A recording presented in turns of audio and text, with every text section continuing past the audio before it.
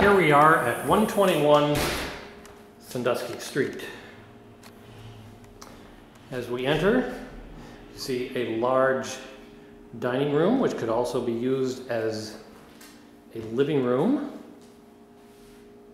Of course, all of our apartments include a microwave.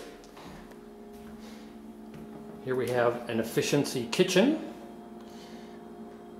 which of course includes a refrigerator and an electric stove. We move into the bathroom, which of course has the usual appliances and has a shower stall and cupboards for various bathroom supplies and for towels. This is the door to the basement where we offer you a washer and a dryer which will save you money.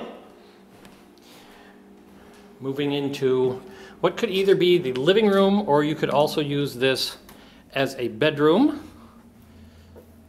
It has a door so you can close it off.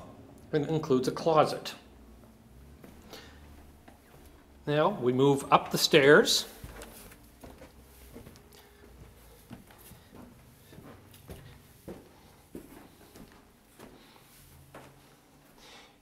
As we come to the top of the stairs, we find bedroom number one.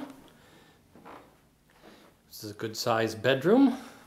Plenty of windows for ventilation, for light, and an armoire to put your clothes and other items in.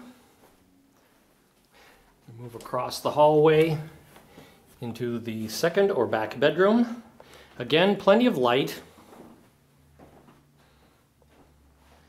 Plenty of windows for cross ventilation. And also an armoire for various items for yourself. And that concludes our tour of 121 South Sandusky Street. Thank you for watching.